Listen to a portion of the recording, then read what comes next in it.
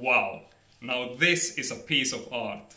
This is the Kempower DC fast charger. It's the T-series movable version, which has a 40 kilowatt max output.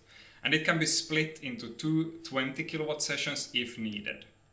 My version is equipped with one CHAdeMO and one CCS, but uh, they can be equipped with any type of configuration. Maybe you want double CCS or just single CCS or something like that.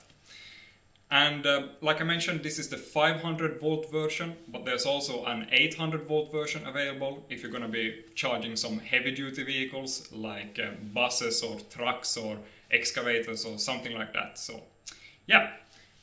And why did I get this?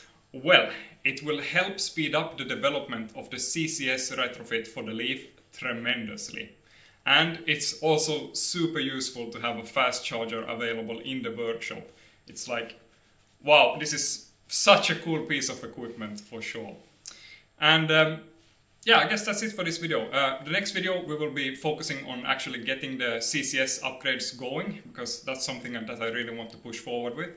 And um, as always, massive thanks to all my Patreon supporters. I wouldn't be able to get something like this without your help, so thank you. Okay, Dala out. Hej,